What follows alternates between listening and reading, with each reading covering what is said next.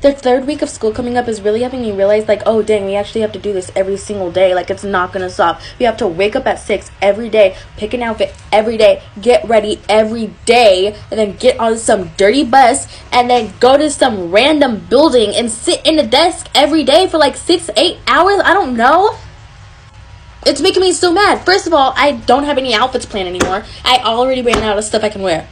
Like and now we actually have to do work like we have to do tests and stuff and we're actually learning now the first week of school always blinds me it makes it seem so easy and then the second week is always also easy and then the third week is when they hit you and they're like this is the third week of school you actually are going to have to do stuff this week like I didn't know I would actually have to do this and it's making me like really upset. I really thought I was only there to see my friends, but no.